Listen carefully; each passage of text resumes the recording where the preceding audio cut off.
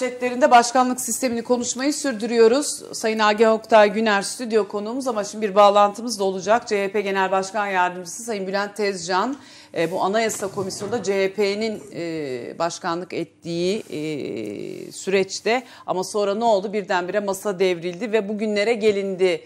E, AKP ile MHP demeyelim ama Sayın Bahçeli anlaşmış gibi görünüyorlar. Artık son e, noktalar virgüller konuluyor, süslemeler yapılıyor. Sayın Tezcan iyi akşamlar. İyi akşamlar Lale Hanım. Öncelikle iyi yayınlar diliyorum. Sağ olun. Sayın Güner'e de saygılarımı sunuyorum. Ben de size hürmet ederim. Evet Sayın Tezcan artık e, bu noktaya kadar geldi. Şimdi başkanlık sistemini kim istiyor dediğimizde Sayın Kılıçdaroğlu'nun da e, yakın bir zamanda yapmış olduğu açıklama, e, Abdullah Öcalan var, Cumhurbaşkanı Erdoğan var e, isteyenler arasında ve ne yazık ki artık Devlet Bahçeli, Sayın Devlet Bahçeli de var e, ki anlaşmış görünüyorlar dedik. Siz neler söyleyeceksiniz? Tabii yani ilginç bir tablo var e, Türkiye'de Lale Hanım. E, şunun dikkatle e, değerlendirilmesi lazım. Bütün vatandaşlarımızın sağduyuyla şu hususu değerlendirmesi lazım diye düşünüyorum. AKP kararlı bir şekilde başkanlık rejimine doğru adı başkanlık rejimi olan düzeltiyorum bir diktatörlük rejimine doğru gidiyor. Hedefi bu. Bir tek adam rejimi yaratmak. Böyle bir projesi var. Bu bir AKP projesi ve bu proje bir diktatörlük projesi, bir demokrasi projesi değil, demokratik bir proje değil. Şimdi bu projeyi hayata geçirmek için çeşitli dönemlerde yedeğine bazı yapılara aldı. İmralı görüşmeleri sırasında AKP bu hedefe giderken yedeğine Abdullah Öcalan'ı ve PKK'yı almıştı. Çok Evet. açık.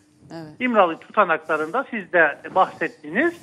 Abdullah yeni rejimdir diyor. Yani terör örgütü başı, terörist başı çok açık bir şekilde bu bir yeni rejimdir. Bir rejim değişikliğidir diyor. Ve oradan kendi anlayışına, Türkiye'yi bölme projesine bir çıkış yolu arıyor. Ve o dönemin başbakanı bu projeler konuşulurken ben her türlü milliyetçiliği ayaklar altına aldım diyerek bir sıcak mesaj gönderiyordu o yapıya, terör örgütüne. Şimdi o dönemde AKP yedeğine PKK'yı almıştı. Şimdi aynı AKP yedeğine MHP'yi demek biraz kolay değil siz de söylediniz ama e, MHP'yi almaya çalışıyor. Evet. Şimdi sorun şu MHP bu rolü kabul edecek mi etmeyecek mi? Karşımızda böyle bir tablo var. Ne yazık ki bugün geldiğimiz nokta ilginç bir nokta. Biz Anayasa Uzlaşma Komisyonu'nda dört siyasi parti görüşürken Evet. orada üç parti çok açık bir şekilde parlamenter sistemden yanaydı. Biz masanın başında bu problem çözülsün diye ısrarcı olurken buydu niyetimiz. Çünkü o gün gördük biz uzlaşma komisyonu kurulduğunda AKP'nin planı vardı. O planda şuydu. Haziran ayına kadar bu işi sürdürelim, sürüncemede bırakalım. Haziran ayında anlaşma olmayınca biz meseleyi yine parlamenter sistem, başkanlık sistemi meselesi altında bir krize taşırız. Ondan sonra da millete döner deriz ki bakın bu meclis bir şey yapamıyor der ve yeniden kendi e, tek adam rejimi hedefimize yöneliriz demişti. Şimdi e, başka bir fırsat yakaladı AKP. Yani AKP'nin doğrultusunda bir değişiklik yok. Sadece müttefikleri e, değişiyor görünüyor. Ha şunu da söyleyeyim. Yarın bu e, kadroya, bu e, yolculuğa e, PKK'nın katılmayacağını kimse söyleyemez. Yani bunu da bilemeyiz. Yani yeni bugün- bir süreç başlayabilir diyorsunuz. Tabii ya, yani bu da olabilir. Çünkü bakın bu proje Türkiye'yi diktatörlükle bölünme arasına sıkıştıran bir projedir. Adı başkanlık rejimi denen ama e, başka patronlu başkanlık rejimi dediğimiz doktrinde patronlu başkanlık rejimi denen rejimin adıdır. Öyle bir sistem öneriyorlar ki şimdi 3 gündür dün Sayın Bahçeli'nin ve Sayın Başbakan'ın basın toplantısından sonra konu sadece partili cumhurbaşkanlığı ekseninde konuşuluyor. Bu yanlış. O bir paket ve o paketi AKP imzaya açmış. Hangi paketi imzaya açtı ben size söyleyeyim. İmzaya açılan paket günlerdir konuşuluyor. Yüksek yargının yarısını meclis belirleyecek, yarısını Cumhurbaşkanı belirleyecek. Evet.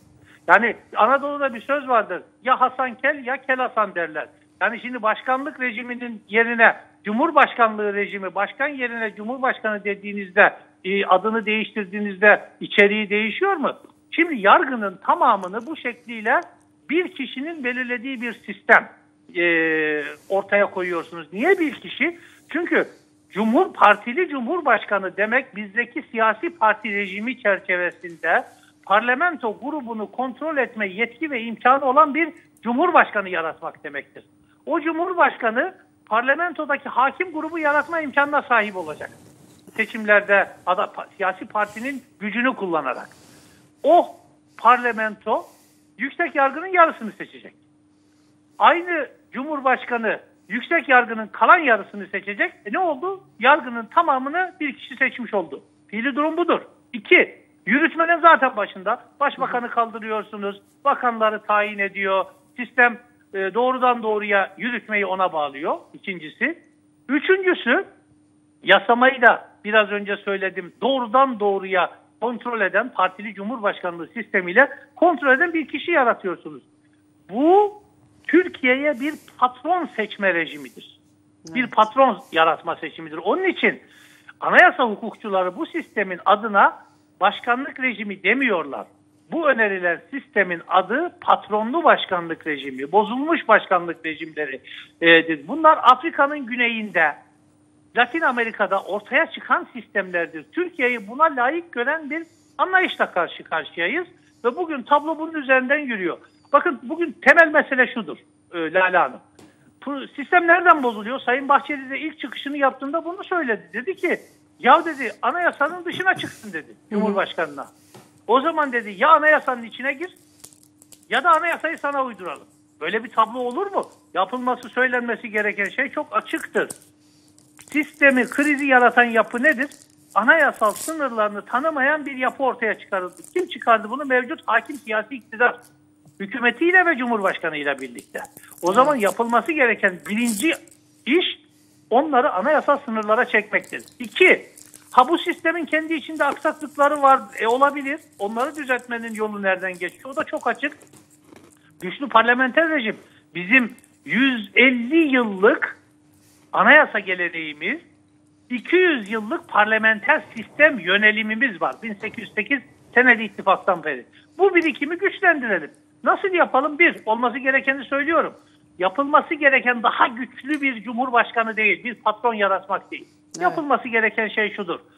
Cumhurbaşkanının yetkileri sınırlanacaktır anayasada. Devleti cumhuru te temsil eden, biraz önce siz söylediniz, cumhuru te e, Agah Bey söylemişti zannediyorum. Hı hı. Cumhuru temsil eden bir sembolik cumhurbaşkanı yaratacaksınız. Cumhurbaşkanının yargıdaki atamaları, yüksek yargıdaki, YÖK'teki, idaredeki atama yetkilerini kaldıracaksınız. Devlette, ülkede denge unsuru olacak. Devleti temsil eden Cumhurbaşkanı. İki, parlamentoyu güçlendireceksiniz. Siyasi parti gruplarının parlamentoda daha etkili çalışabileceği yöntemler koyacaksınız. Bunun yolu çok. Kanun yapma tekniğini değiştirirsiniz. Bir, meclis araştırma tekniğini değiştirirsiniz. İki, grup sayısını azaltırsınız. Üç, Grupların yetkilerini artırırsınız. Dört. Sayabileceğim daha çok şey var. Bunları kamuoyuyla paylaşacağız önümüzdeki günlerde. Güçlü bir parlamento yaratacaksınız. Bağımsız bir yargı yaratacaksınız. Türkiye'nin ihtiyacı olan budur. Türkiye'nin evet. ihtiyacı olan bir diktatör yaratmak değildir. Bir. Evet. iki sorunun kaynağı olanların istediği yetkileri vererek sorun çözülmez, sorun daha içinden çıkılmaz hale gelir. Peki. Çok teşekkür ediyoruz ben Sayın Tezcan. Ben teşekkür ediyorum. İyi Sağ yayınlar olunuz. diliyorum. Çok teşekkürler. Evet Sayın Bakanım şimdi Sayın Tezcan hem mevcut durumu değerlendirdi hem de